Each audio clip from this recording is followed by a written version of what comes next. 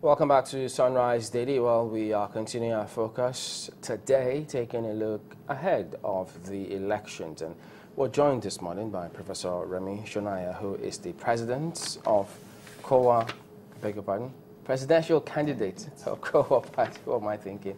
Thank you for coming on this morning. Thank you very much. Good morning. Thank you. Thank you. Well, speaking about uh, KOWA Party, I mean, yes, the, KOWA Party actually was registered. Maybe you should just give us a little background about it because people keep talking about uh, some other party other than KOWA Party. Give us the background. Why did you choose to go with KOWA Party?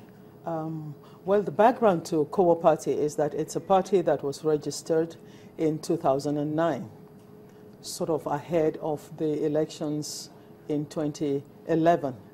And uh, it was put together, it was established by people who thought that we needed to do something to reclaim politics, to, to reclaim the impression that people have of, of politics uh, as being a domain where uh, maybe merit, where competence, where integrity, uh, and all those positive values had been lacking.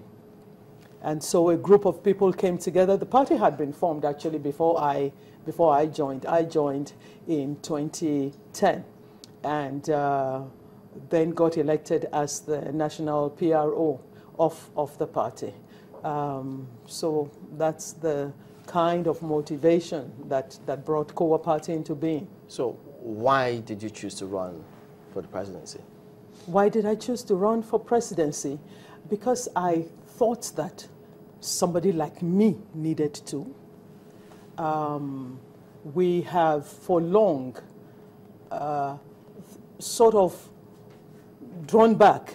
You know, people, ordinary people, um, thinking that, oh, you've got to have loads of money to get into uh, politics, you've got to have a godfather to get into politics, you've got to have this and that, you know, be a powerful person in the uh, country to get into politics. And, I, and that's not true. It simply is not true.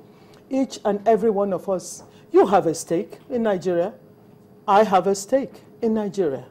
I am qualified to run for the presidency of, of Nigeria.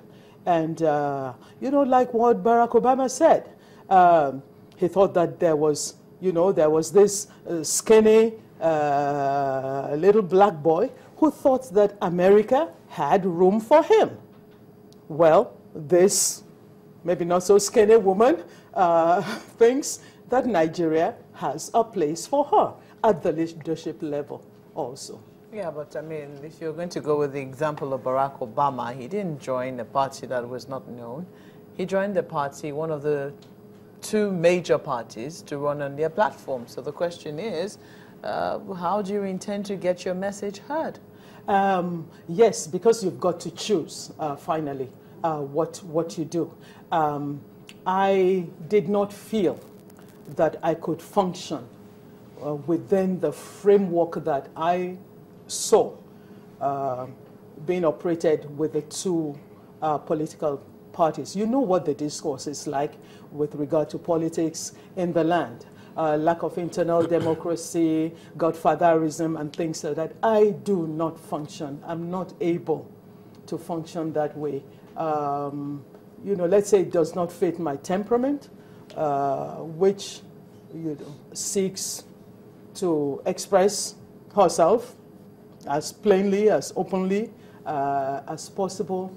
You know, I might go and get myself into a party uh, where I would be constantly at loggerheads uh, with people. I wanted to join a party where I could really contribute, where everybody had the same uh, uh opportunity for input, for expressing uh, their opinion. There was not one or two or three individuals who were, you know, all powerful and, and determining uh, what would happen in, in, in, the nation. That's the kind of KOWA, that's, those are the values that we have in, in KOWA. So that's the reason, sorry, Sulaiman, yeah. that's the reason you joined KOWA. That's the But the question is, how do you intend to get your message heard? You've talk, talked about how you don't need a lot of money to enter politics, but Yeah. the politicians will tell you that the money is necessary because media space doesn't come for free. So the question is, how do you intend to, you know, work around that? I wonder the effectiveness of most of the money that I uh, see being spent. Okay, what is the money really used for? Uh, is it really yes, you have the billboards splashing around, and you know, you've just been talking about posters uh, uh, in Lagos being pasted all over the place, and, and so on, and all of that uh, costs money. Yes, it does cost money, and uh, I am raising uh, some funds to, to be able to also get uh, my message across. But I also am exploring and exploiting all the other avenues, uh, non heavily monetized or you know financial uh, avenues that exist for for getting one's message uh, across to the people. For instance, the social media. Uh, I've been tweeting, I've been sending messages on, on Facebook, uh, things, things like that. And, and just having people also uh, passing my message on uh, on their various, on the various um, groups within which, which they operate. So uh, it, it's slow. I, I know what, what you mean. I know, I, I, I- understand the, the concern that you, you feel. It is slow, yes, but there are principles behind it.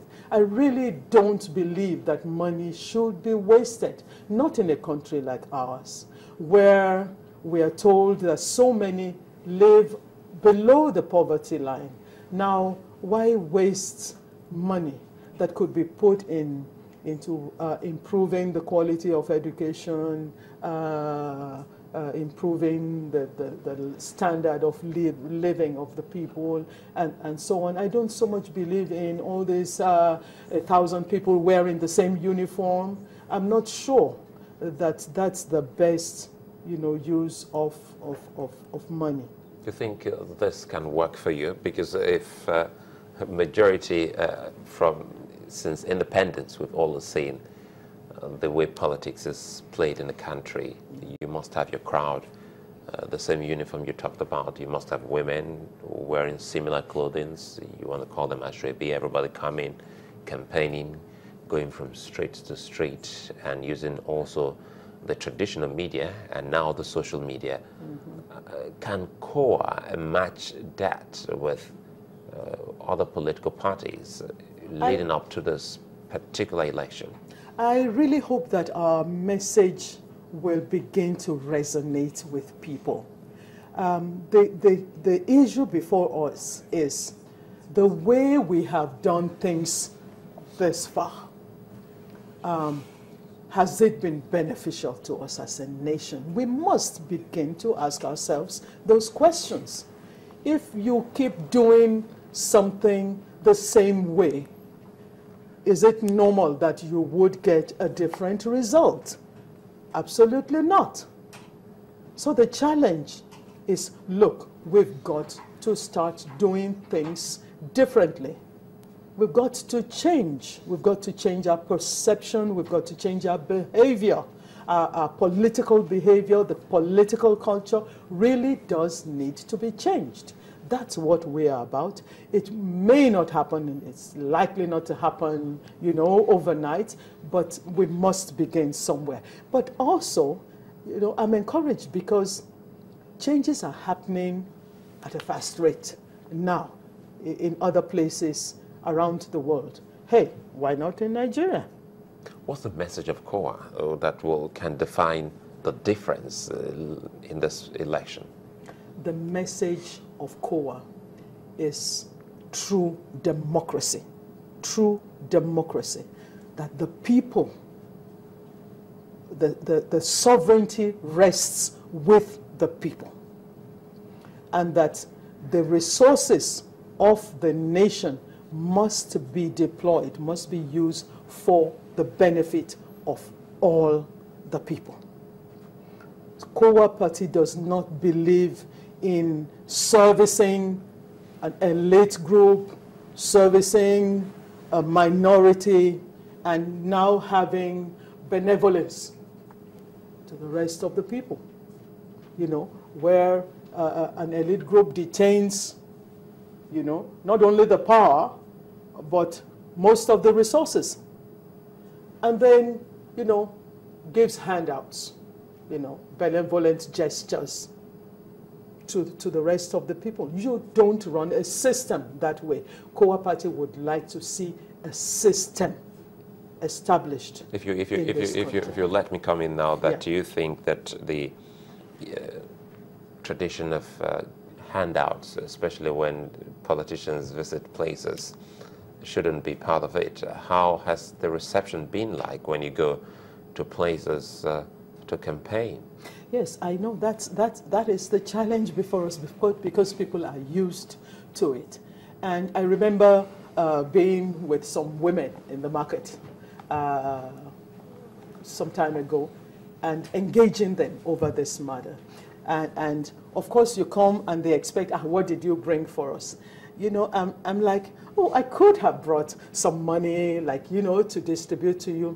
But, you know, if I give you 5,000 naira each now, you're going to pay back um, down the road if I get there, you know, because it might just happen that um, you get to the hospital and the drugs you need will not be there, and you know, uh, and and and and and a, a lot of the people who go about distributing money. Our newfound word now is stomach infrastructure. We go for stomach infrastructure, and we, if we receive it, we are going to pay for it. There's no doubt about it. The people that are given the handouts, they, they, they, they are doing so, they are investing. All investment is expected, you know. So to- to- how did they to respond to your message?